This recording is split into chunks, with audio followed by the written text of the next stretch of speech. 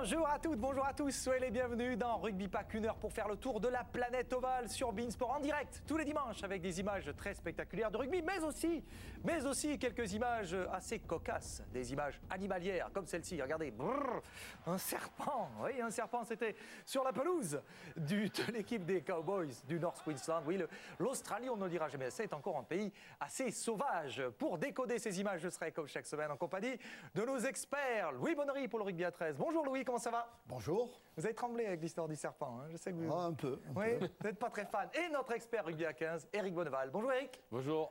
Ouais, vous avez déplu le serpent, Ah, ça vous a... Le cas des bords. Bon, cadrage des bords, vous avez bien fait, vous avez bien fait. Ouais, vous avez vu, on a deux chasseurs de serpents qui furent autrefois, oh, il y a à peine une paire de- d'années, ils étaient des chasseurs d'essais sur leurs lignes respectives. Pour décoller donc ces images, nos experts, une émission bien remplie là aussi, avec tout de suite le sommaire.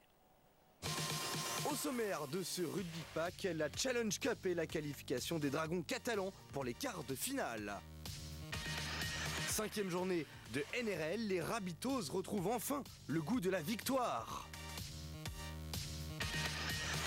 Et vous pouvez bien entendu, comme chaque semaine, réagir dans notre émission avec le hashtag RugbyPack, dièse RugbyPack. Vous pouvez pas réagir, Louis, parce que vous n'avez pas le droit d'avoir le téléphone pour tweeter, mais je sais que vous le feriez volontiers, tout comme vous, Eric, qui allez futur, euh, futur tweeto. Il n'est pas encore au top, mais, mais euh, ça ne saurait tarder. On va démarrer cette émission avec du rugby à 13 européen. Bien sûr, pas de Super League, mais de la Coupe d'Angleterre. Les Dragons catalans qui disputaient donc ce week-end, messieurs, un cinquième tour.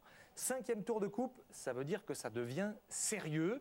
Une coupe d'Angleterre où les Dragons ont réussi à battre une équipe des London Broncos qui venait à Perpignan avec euh, la tenue de l'outsider. Oui, les Dragons ont, mon cher Louis, validé leur ticket pour les quarts de finale d'une des plus vieilles compétitions mondiales. Effectivement, les Dragons, euh, sur cette rencontre, euh, ont confirmé euh, le retour en forme de cette équipe. Beaucoup d'assurance. Une première mi-temps est un peu. Pas forcément efficace comme peut-être on l'aurait souhaité, mais le score final montre qu'il n'y avait pas de comparaison. Les Dragons sont bien et prêts pour la suite de cette compétition. Oui, alors la satisfaction, Louis, de, de- qui est venue de Perpignan donc ce week-end, déjà il y avait la chance de jouer aussi à la maison ce, cinquième tour, c'est qu'on a retrouvé des dragons avec plein d'allant, à l'image de Leon Price ici que l'on voit euh, franchir la ligne, avec au soutien un garçon qui a été très très bon euh, vendredi soir, c'est Louis Anderson qui là va trouver une solution juste à hauteur. Euh, parfait, la circulation du ballon côté catalan est assurée, la continuité aussi. Oui, et puis la volonté des joueurs de se porter au soutien. hein. parce qu'on peut croire qu'il va y aller tout seul. Non, il y a du soutien et ça permet de, à cette équipe catalane de, de- de marquer de- un, un bel essai.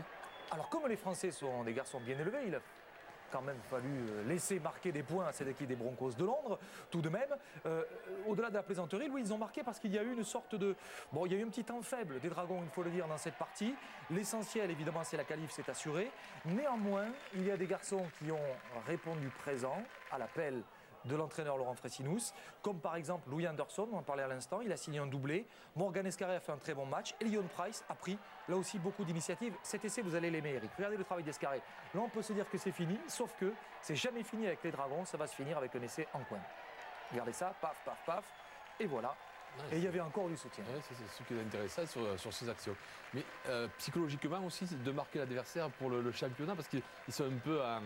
C'est pas inintéressant quand même de mettre 40 points contre une équipe que vous pouvez rencontrer après qui est dans, le même, dans la, même- la même zone que vous, non? Oui, euh, avec, Londres, euh, il y avait trois compétitions, la coupe, le championnat et Ouais. la descente. Donc euh, voilà. Et pour l'instant, les Dragons mènent. Louis, c'est de l'histoire ancienne. L'histoire de la descente, c'est de l'histoire ancienne. C'est fini, on n'en parle plus. Les Dragons auront un match à jouer face à Witness. Ça sera la semaine prochaine. Ça sera le retour à la Super League. Mais ce succès en quart de finale aura, à coup sûr, donné beaucoup, beaucoup, beaucoup de cœur à l'ouvrage à ces garçons avant d'affronter Witness. Écoutez la réaction des entraîneurs, l'entraîneur Laurent Fressinous et de Vincent Duport, le joueur des Dragons On a assuré la qualification. On travaille, on travaille. La saison a, débuté doucement, mais petit à petit, on, on travaille et on va arriver à, à quelque chose de grand, du moins, je l'espère. C'était une peau de banane et, et Londres a sûrement joué le, le- le match de, de leur saison. Donc, euh, donc voilà, on a, on a fait le plus important et, et- et par moments c'était plutôt bien. et par moments un peu plus, un peu plus soft. Et... Oui, bah, il y a toujours des moments où ça va mieux que d'autres dans un match, mais l'essentiel est acquis, il l'a dit l'entraîneur Laurent Fressinous. Le ticket pour les quarts de finale est dans la poche de ces dragons catalans. Il y a un autre joueur euh, que l'on va retrouver dans quelques minutes sur Beansport, c'est Jamel Fakir qui nous fait l'amitié euh, d'être en direct sur Beansport dans Rugby Pack. Mais avant ça, on va regarder les, euh, les quarts de finale à venir. Vous allez voir, messieurs, que pour le nouveau club de Jamel Fakir, ça sera cet après-midi avec le match face à l'équipe d'Oldham. Mais les résultats conforte l'idée que euh, Salford euh, est en pleine forme malgré des remous dont on parlera tout à l'heure avec un drop à la dernière seconde de Raggy Chase qui a donné la victoire aux Reds. Wigan 58-6, la victoire de Sheffield face aux London Scholars. C'est aussi le charme de la Cup, de petites équipes, des équipes de moindre division qui se rencontrent. En revanche, aujourd'hui, Louis, gros morceau, St. Helens Huddersfield, là, pas pareil. Wakefield Leeds, Batley contre Castleford, euh, les Tigres devraient passer. Warrington Ulkear, là aussi, c'est très gros. Witness face à Halifax. Et les Bulls de Bradford vont rencontrer l'équipe d'Oldham. Bradford-Oldham, ça sent bon les, les matchs de Coupe euh, d'Angleterre d'il y a des années parce que deux clubs historiques qui vont se rencontrer et nous, nous serons très heureux de suivre ce duel entre Bradford et Oldham parce que nous avons un garçon qu'on aime beaucoup. C'est Jamel Fakir qui est en direct avec nous. Jamel Fakir qui a signé euh, cette semaine avec l'équipe des Bulls de Bradford. Il a quitté Perpignan, vous vous en souvenez, il y a quelques semaines. Le voici, il a rebondi à Bradford. Bonjour Jamel, on est très content de vous trouver. Euh, ici en pleine forme, souriant, vous êtes beau comme tout, avec vos nouvelles couleurs. Bonjour à tous, bonjour Louis, bonjour Eric, Rodolphe, tout le monde. Comment ça va, euh, Jamel? Comment s'est passée cette, euh, cette première semaine à Bradford? Ben, Ça s'est très très bien passé. Donc, euh, je suis arrivé mercredi en provenance de, Perpignan. Donc, je me suis de suite acclimaté parce que j'avais l'habitude de venir jouer ici avec avec les Dragons. Donc, voilà. Bon, ben, à part le temps qui a été très très brouillard, on va dire, mais mais ça va aujourd'hui. Donc tout se passe très très bien. Alors justement, c'est alors c'est pas forcément une, surprise pour ceux qui connaissent la valeur du joueur que vous êtes, mais euh, vous aviez pour autant décidé de mettre un terme euh, à votre carrière, un terme temporaire en tout cas. Vous rebondissez dans ce club de, des Bulls qui a connu quelques difficultés. Apparemment, les difficultés sont désormais aplanies. Pourquoi ce choix? Vous aviez aussi d'autres pistes, j'imagine. Pourquoi avoir choisi Bradford? Euh, le pourquoi du comment, en fait, c'est vrai que par rapport euh, au mois passé, quand j'ai pris, euh, moi personnellement, la décision de, quitter le club pour un peu me retrouver, donc faire une, un break, donc je pensais pas que ça allait aller aussi vite aussi. Et c'était pour me retrouver un peu moi-même, passer du temps avec ma femme, ma fille. Euh, et, voilà, donc après les choses se sont beaucoup accélérées parce qu'il y a eu pas mal de clubs intéressés. Donc euh, euh, il y avait trois clubs pour des raisons budgétaires ne pouvaient pas m'acquérir pour, pour maintenant. Donc comme on était en, pratiquement en milieu de saison. Donc, et Bradford cherchait eux un pilier pour euh, rapidement. Donc euh, c'est pour ça que j'ai euh, pris l'occasion, j'ai saisi l'occasion par rapport à mon agent pour, pour venir et, euh, et commencer dès demain, dès cet après-midi, pardon. Oui, alors parce que justement, euh, Francis Cummins, l'entraîneur de l'équipe de Bradford, a, parlé de vous euh, cette semaine en bien dans la presse anglaise.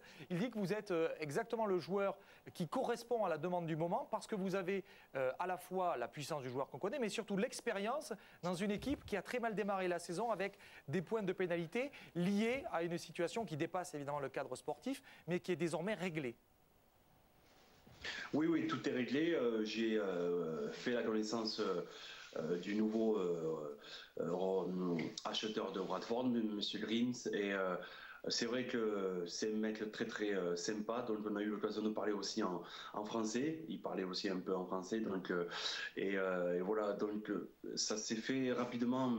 Ben, comme s'appelle Francis m'a appelé, m'a appelé, m'a parlé. Il cherchait un joueur comme moi, donc moi il me fallait euh, rebondir quelque part. Euh, il fallait aussi que, mentalement, physiquement, je me retrouve. Donc, euh, j'espère que les semaines qui vont arriver, ça sera le cas. Et c'est surtout ça qui me manquait parce que l'année passée, l'année dernière, au, Dragon m'a beaucoup, beaucoup perturbé et je n'étais pas du tout moi-même. Donc, voilà, on va dire c'est du passé. une, grande, une, grosse page se ferme, une autre s'ouvre. Et euh, je suis très très ravi et bien et mentalement beaucoup mieux que, que là-bas. Donc euh, je pense que si tout va bien, je touche du bois, qu'il n'y aura pas de, soucis du tout.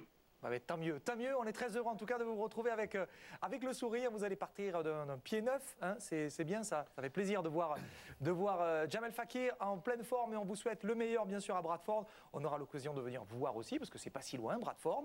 Et vous, on vous souhaite en tout cas bonne chance parce que ça commence dès, dès cet après-midi en Cup face à l'équipe d'Oldham. Merci euh, Jaja d'avoir été avec nous et à très très bientôt. Nous messieurs, nous allons continuer cette émission avec l'équipe de Salford. Vous savez, on a parlé souvent, vous vous souvenez de Salford avec son nouveau propriétaire, euh, Marwan Koukash, ah eh bien, il a sévi, Marwan Koukash, parce que du coup, à Bradford, eh bien, l'entraîneur a changé. Alors qu'il y avait des résultats positifs, je vous le disais tout à l'heure, avec la victoire face à, en Coupe d'Angleterre. Donc, d'un tout petit point, certes, mais l'équipe de, euh, des Reds avait réussi à gagner. Et pour autant, changement d'entraîneur, Brian Noble, lui, a été remercié, changé par ce garçon, Harris, assez incroyable.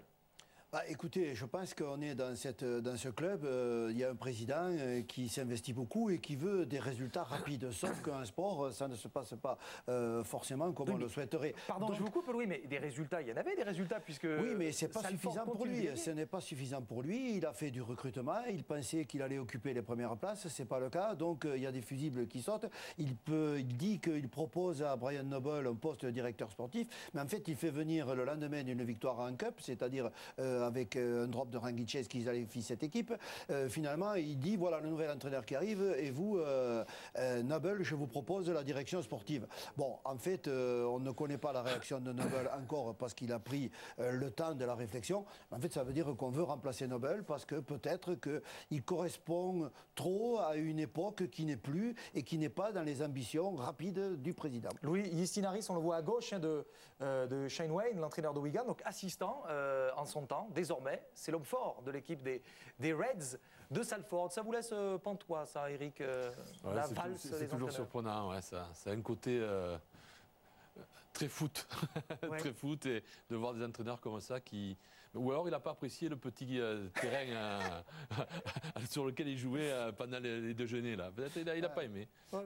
allez savoir, allez savoir. En tout cas, ce qui est sûr, c'est que nous, il n'y a pas eu de, remaniement autour de cette table cette semaine. On a gardé les mêmes. Hein. Nous avons un, gouvernement ramassé de combat ici avec nos, experts, Louis Bonnery et Eric Bonneval. Regardons le programme de la, de la Super League pour la prochaine journée. Les Dragons jouent un match important face à l'équipe de Wakefield. Ça sera samedi prochain. Et les affiches, Louis, euh, vont opposer au LFC à Huddersfield. Ça sera en direct évidemment sur Beansport, tout comme Castleford St. Helens, qui a beaucoup d'intérêt.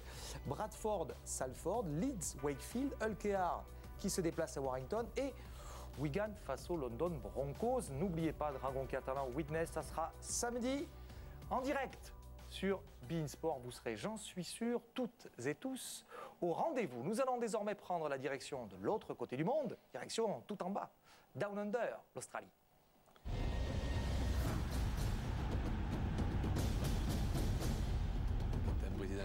En Australie, on jouait la cinquième journée de la NRL, une journée placée sous le signe de l'histoire, puisque cette cinquième journée se nomme le Heritage Round. Oui, parce qu'on fait appel aux souvenirs et à la culture dans ce rugby à 13 australien. Les Rabbitohs de South Sydney recevaient les Dragons de Saint-Georges-Illawarra. Et pas n'importe où, messieurs, dans un stade que vous connaissez tous les deux, c'est le Sydney Cricket Ground, le SCG. Voilà euh, un lieu qui est particulier, chargé d'histoire, avec des tout petits vestiaires. Eric, vous connaissez, vous avez joué à 15 sur 86, ouais, ouais. Euh, contre l'Australie, bien sûr. Oui, oui, alors je me souviens plus des vestiaires. Louis, c'est un lieu chargé d'histoire pour le rugby à 13, évidemment. Ah ben, c'est là que s'est construite euh, l'histoire des grandes tournées, en particulier la tournée de 51, 55, 60, les premières Coupes du Monde. Le Cricket Ground, c'est là où se faisaient toutes les photos traditionnelles, les photos panoramiques. Et donc, euh, des générations entières euh, de joueurs sont passés par le Cricket Ground. D'ailleurs, on ne parle pas du Sydney Cricket Ground, on parle du Cricket Ground. Oui, c'est devenu un terme. Sydney, ça ne peut pas être ailleurs qu'à Sydney, le Cricket Exactement. C'est un, bah, d'ailleurs, c'est un, un, lieu qui fut le théâtre, vous allez voir, d'un match très intense sur lequel je vous propose de revenir avec Laurent Bidot. Regardez. Le Sydney Cricket Ground, un stade historique pour un moment historique aussi pour le capitaine John Sutton. 212e match sous le maillot des Rabbitohs, il bat le record de la légende Bob McCarthy. A priori, les Dragons de Saint-Georges Illawarra, leader après 4 journées, n'avaient pas prévu de cadeau. Pourtant, ils multiplient les fautes, 7 en première mi-temps. Les Rabitos concrétisent peu jusqu'à ce que Luc Borges monte à l'assaut. L'équipe qui restait sur 3 défaites explose de joie et s'est transformée 8 à 0. Les Dragons mettent une grosse demi-heure à cracher le feu. Passe au pied millimétré de Garrett Widop pour Josh Dugan, qui résiste à 4 défenseurs avant d'aplatir. Mais l'arbitrage vidéo lui refuse l'essai, ballon lâché et pas vraiment recontrôlé ensuite. Alors les Rabitos reprennent leur domination. Cinquième tenue, chandelle de Sutton. À la retombée, Reddy, Davy sur Stanley, qui sert Jason Clark pour le deuxième essai validé. Transformé là encore par Reynolds, 14-0 à la pause pour les Rabitos.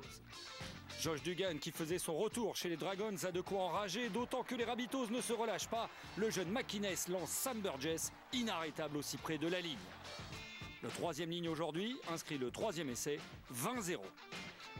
Comment stopper le grand Sam et son équipe? Peut-être avec un plaquage dangereux, comme ici celui de Debellin.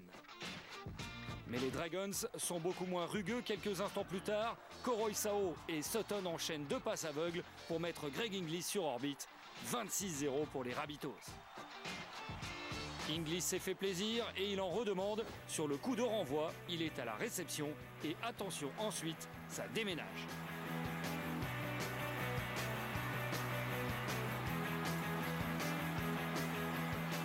Malheureusement pour les Rabitos, l'action ne donnera rien, ils ne marqueront plus. Au contraire, les Dragons évitent le zéro pointé en pointant une fois dans l'embut par Debellin. Score final 26 à 6, les Dragons ont reçu la leçon. Les Rabitos, demi-finalistes l'an dernier, sont enfin de retour à leur meilleur niveau. Uh, you know, last few weeks we've been trying a few things and, you know, having people in there, but, you know, in the end we just had to, yeah, it's pretty much no excuses. We just played poorly and that's just bottom line of it. You know, I think it helped with John Sutton going back to six. Uh, you know, it's, it's what we were more used to as a team, so uh, we haven't changed anything really. Just continue to work hard inside the camp. Les Rabitos ont donc retrouvé le sourire et honoré leur statut au meilleur moment pour fêter aussi le nouveau record de leur capitaine, John Sutton. Qui a signé son 212e match avec cette équipe des Rabitos de South Sydney. C'est un exemple de longévité, c'est l'homme du club. Le hashtag RugbyPack, vous pouvez d'ailleurs, euh, oui, je lis, oui, alors, ah, oui, vous pouvez réagir. À quand? Je ne sais pas. Louis, vous m'accompagnez? Eric, ce ne sera pas un one-man show, ce sera un... Enfin, je m'occuperai de l'éclairage. Merci les gars, je sais que je peux toujours compter sur vous. Cinquième journée de NRL, donc qui avait démarré avec un match qui opposait les Roosters de Sydney aux Bulldogs de Canterbury. Euh, bon, on avait laissé les Roosters, Louis sur le flanc après une défaite face à Manly la semaine passée. On se demandait bien comment les, les, coqs allaient réagir. On a des coqs, on a des serpents, on a des petits lapins. C'est un, hein, une ménagerie. Le... Oui, c'est une vraie ménagerie, cette émission. C'est chouette. Alors regardez, euh, d'abord, les Bulldogs de Canterbury n'étaient pas venus, eux, pour euh, juste faire une petite promenade digestive à Sydney, pas du tout. Euh, parce qu'ils commencent avec cet essai marqué en coin et on aura noté l'importance dans ce match d'une charnière très efficace, Reynolds et Hodgkinson.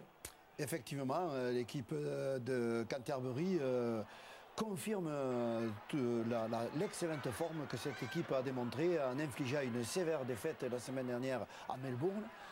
voilà, donc aujourd'hui, ils savaient que aller chez les Roosters qui étaient qui sont à la recherche d'une véritable efficacité. Donc ils savaient que c'était le bon moment pour eux. Alors on a pu croire à ce moment du match, avec l'essai marqué ici, on voit la passe de Mitchell Pierce pour euh, Michael Jennings, on se dit que ça y est, ils sont de nouveau euh, dans le match. Parce que regardez, on est en première mi-temps, 56e minute, les Roosters, 8-8. Et là, euh, le ballon pour Daniel Toupou qui va les s'arracher pour marquer. C'est lui. Eh ben, non, eh ben non, non, l'essai sera, sera justement refusé, Rodolphe. Vous avez vu comme j'ai joué le suspense Oui, oui, vous avez joué le, le, suspense, mais bon, le ballon n'est pas posé avant. Donc... Ça, c'est important parce qu'on se dit que dans les 15 dernières minutes, le drop va faire la différence. Nous sommes toujours à 8-8. On a vu le drop tenté par le demi de mêlée Mitchell Pierce. Et quelques minutes plus tard, enfin quelques minutes, une minute même plus tard, crac Le drop, cette fois-ci, réussi par Reynolds. Ouais, c'est le drop, euh, le drop de la victoire qui, qui finalement, euh, c'était une séquence de jeu énorme puisqu'on a tenté un drop d'un côté qui n'est pas passé et sur, euh, sur la remise en jeu, c'est le drop de l'autre côté. Donc vous avez raison, c'est l'espace de quelques secondes. Ça a été le sort du match aussi. Et oui, et la victoire précieuse des Bulldogs de Canterbury, célébrée comme il se doit comme il devrait toujours être célébré, ce succès, dans le vestiaire, en groupe, avec force chant, vous avez vu, et, et euh, boisson gazeuse, en règle générale, en Australie. Alors, je sais que cet essai, Louis, vous a beaucoup plu, et pour cause, puisque vous avez décidé de nous en faire une petite palette. La voici tout de suite, notre rubrique Rayon 13.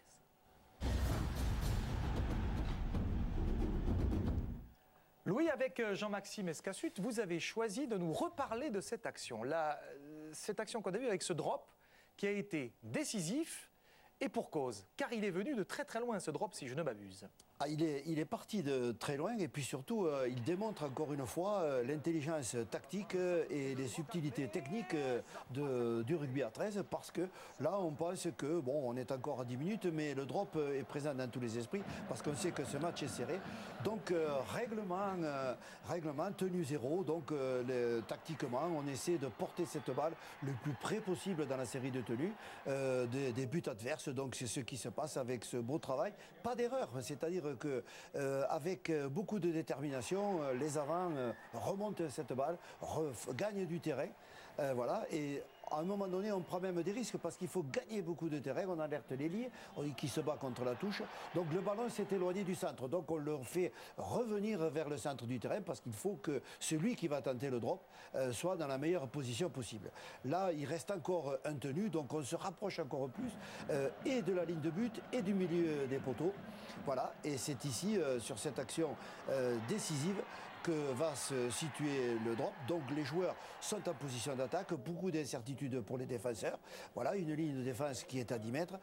Le joueur qui va tenter le drop, lui, euh, se cache au fond de cet entonnoir. Nous sommes au tenu 5, on fait circuler la balle, voilà.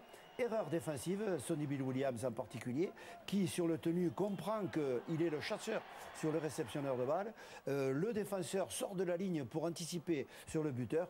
Euh, il y a trop de profondeur dans l'organisation du jeu, euh, de la mise en place du buteur. on ne pourra pas éviter cette séquence. Vous voyez, voilà, hop, hop, euh, on éloigne cette balle, le drop est parti, il passe, et on sait là que c'est quand même une sérieuse option pour la victoire. il abandonne la poursuite, ils sont trop loin, il s'était bien caché euh, au fond de cet entonnoir. Donc euh, c'est pas un essai, Rodolphe, c'est un point en or. un point en or, comme vous dites, Louis, puisque ça a permis donc à l'équipe des, euh, des, Bulldogs de Canterbury d'assurer la victoire. 9-8, petite victoire, mais précieuse avec ce drop de Josh Reynolds à 10 minutes de la fin. Ça vous a plu, euh, la palette de Louis? Magnifique, comme toujours. Aérienne. Oui, c'est ça. Avec les flèches. Cette, vue, euh, cette vue, aérienne. des flèches, des lumières. Dans une autre vie, je crois, Louis, que vous deviez être le, le, hein, le spécialiste des, des effets pyrotechnique à la cour de Versailles. Je ne vois pas d'autres. Euh, vous deviez avoir cette charge royale. Je ne vois pas d'autres, pas d'autres idées. Alors dans cette euh, journée de NRL, notre match nous intéressait, celui des Titans de la Gold Coast face au Storm de Melbourne. On a laissé le Storm en difficulté la semaine passée face aux Bulldogs. Vous le disiez, Louis. Ce match sera à suivre lundi sur Beansport. Vous serez aux côtés de Vincent Pochulu. On vous montre pour vous mettre en bouche deux essais.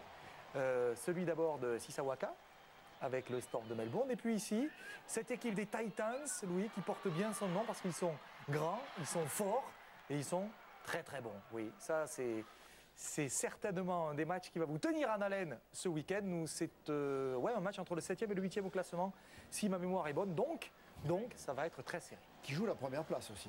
Exactement. Et potentiellement la première place pour les Titans de la Gold Coast. Et on pourrait être mieux renseigné sur le classement à l'issue de cette partie. Nous allons nous retrouver celui qui est notre numéro un à nous. Numéro un dans le Queensland, bien sûr, c'est Laurent Garnier pour les News.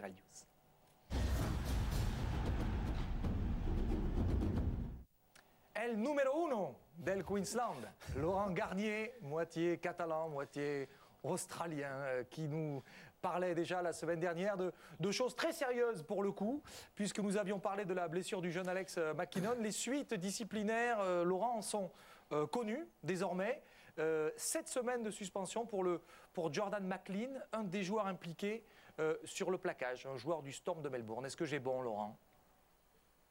Oui, c'est ça. Cette semaine, la commission, la commission judiciaire a coupé en deux. Ils sont trois. Un voulait neuf, un voulait quatre. Ils sont tombés en plein milieu euh, cette semaine. Cette semaine, c'est, je crois en plus que c'est bien pour, euh, pour le jeune joueur Jordan qui, qui doit un peu se, se, laver la tête et oublier un peu cet incident, car c'est, euh, c'est quand même quelque chose qui peut, qui peut le suivre toute sa carrière. Oui, parce que dans ce, dans ce cas de figure, évidemment, il y, a, y a un drame terrible, un drame humain considérable. Messieurs, on a revu la blessure, on rappelle que bah, malheureusement, la, fracture des cervicales de ce garçon a eu des, euh, des répercussions sur, toute cette famille, bien sûr, la famille McKinnon, bien sûr, mais également sur ce pauvre joueur qui lui aussi est impliqué dans cet accident. Euh, et du coup, il a fallu sévir. Est-ce que ça vous semble juste, euh, Louis, le- les sept semaines de, euh, de suspension pour ce garçon Je crois qu'il ne s'agit pas de savoir si la sanction est lourde ou pas, c'est le préjudice euh, moral euh, que, que cet accident a provoqué. Donc que ce soit 15 jours, 2 mois, 1 an, euh, voilà, je pense que ça n'a, pour moi, ça n'a strictement aucune importance par rapport à l'importance de la blessure Évidemment. du joueur. Donc euh, c'est, je pense que le joueur, qu'il ait 7 semaines ou 3 semaines, pour lui, euh, le joueur qu'on a a priori rendu qu'on essaie de rendre responsable de cette affaire, euh, à mon avis, ça n'a, ça n'a pas de prix, euh, ça n'a aucune importance. Euh, les- le mal est trop important pour, Oui, on pour a- pouvoir le juger avec un ou deux matchs de suspension. C'est totalement insignifiant pour moi. Oui, Laurent, juste euh, d'un mot, euh, l'état de santé du- de, de ce jeune garçon, évidemment, ne- n'est pas allé en s'améliorant ces dernières semaines, même s'il y a eu quelques, quelques va-et-vient dans la communication à la fois des, euh, des parents, de la famille, mais aussi du, du club et des chaînes de télévision sur place, alors que c'est organisé un élan de solidarité sans, euh, sans aucune euh, commune mesure. hein. On le voit en Australie, Rise for Alex, avec le hashtag euh, Rise for Alex, où euh, toute l'Australie est mobilisée. Oui, je sais. oui, j'ai plutôt envie de parler de, toutes les bonnes choses qui arrivent autour de la famille de, de Alex et, ne, pas, ne pas parler de- euh, des news à sensation que quelques médias ont voulu faire en disant que sa vie était terminée, qu'il ne remarcherait plus. Ce, euh, que- ce dont euh, Alex a besoin maintenant, c'est d'espoir. Le mental dans ce genre de problème est énormément euh, important. Euh, je sais d'ailleurs même que les Dragons catalans ont envoyé un message euh, sur le ri- hashtag Rise for Alex. C'est ce dont on a besoin maintenant. On a besoin de, soutenir Alex dans ce, long combat qu'il va mener maintenant sur plusieurs années sûrement. Laurent, cette semaine, au-delà de cette histoire tragique, il, fut aussi question d'un quelque chose peut-être de plus léger, dirons-nous. C'est une sorte de faux aller-retour, enfin un faux aller et un vrai retour pour Andrew Fifita, le joueur des, des Sharks de Cronula, qui a failli quitter son club et qui finalement restera à la maison. Écoutez, c'est encore une histoire, Rodolphe, une histoire de café. Euh, pour la petite histoire, euh, Andrew Fifita et Iwan McKenzie, l'actuel entraîneur des Wallabies, ont le même manager. Donc tout s'est passé autour d'un café. Pourquoi tu ne signerais pas à 15 dans le futur? Fifita s'est vu trop beau et il s'est dit euh, Eh, pourquoi pas? Donc il a parlé aux médias. Il ne faut jamais parler tant que euh, le- l'encre n'est pas séchée sur le papier, c'est ce qu'on dit ici. Oui, parce que du coup, euh, euh, Andrew Fifita restera donc avec les Sharks de Cronula. On l'annonçait aussi à Canterbury. Eh bien, il n'ira ni à Canterbury, ni dans le rugby à 15 en Australie. Ben, il a perdu une occasion de se taire, ce garçon. Il a un peu trop parlé. Et Laurent a raison, il faut attendre que l'encre sèche sur le contrat. Nous allons méditer cette euh, phrase, messieurs, si vous voulez bien, cet après-midi. Merci beaucoup, Laurent, d'avoir été avec nous. On vous retrouve évidemment comme euh, chaque semaine euh, en direct sur Beansport dans Rugby Pack. Bonne semaine et bonne nuit surtout. Salut on va récapituler, messieurs, les résultats, si vous voulez bien, dans cette cinquième journée de NRL avec, avec, avec, avec Canterbury, qui est allé battre les Roosters, avec les Broncos, vaincus là aussi, Louis, par les Hills de Parramatta. Quel retour des Hills de Parramatta Victoire des Sharks de Cronula, des Panthers de Penrith, qui eux aussi se positionnent dans les sommets du classement. Saint-Georges Illawarra qui a perdu contre les Rabbitohs, la Gold Coast et Melbourne. Ah voilà le résultat dont on parlait tout à l'heure. Les Tigers qui ont battu Manly, là aussi, très important ce résultat. Et les Knights iront dans le nord du Queensland pour aller euh, disputer cette cinquième journée devant la Gold Coast, Canterbury, Brisbane et Penrith, les West Tigers, Saint-Georges Illawarra, Manly, Parramatta qui prend la huitième place, et puis 9e Melbourne, les Roosters 10e et les Rabbitohs 11e. Dans la deuxième partie du classement, les clubs de Sydney, donc ce n'est pas très très bon et les Knights, eux, ferment la marche. Il est venu le temps de fermer notre page rugby à 13.